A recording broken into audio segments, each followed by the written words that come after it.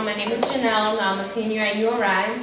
Um, I'm 21 years old, and it took me 21 years to understand my own blackness and understand that I was black as an Afro-Latina.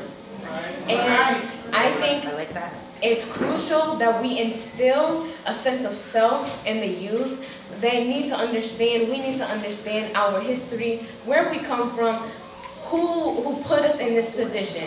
We can't wait until we go to college and we see that we're the only person of color in our classrooms to understand where we stand in this society.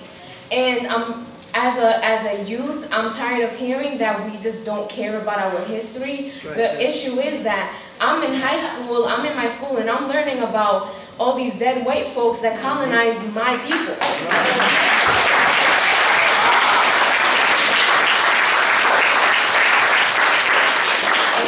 we're constantly kept in the dark and we're constantly told that, you know, look at what has, uh, look at the people that have done so much for you. You should be grateful. I'm absolutely grateful that I'm able to go to college as a person of color and sit in that classroom. What I'm not grateful for is being lied to about the history of this country. I am not grateful for being told every day that you need to be quiet. You don't have a place in this society as you don't have a place in this society as a youth and, and especially as a woman of color to question your position because you should be grateful.